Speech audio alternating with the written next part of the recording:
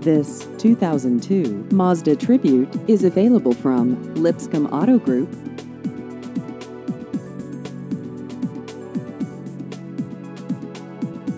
This vehicle has just over 117,000 miles.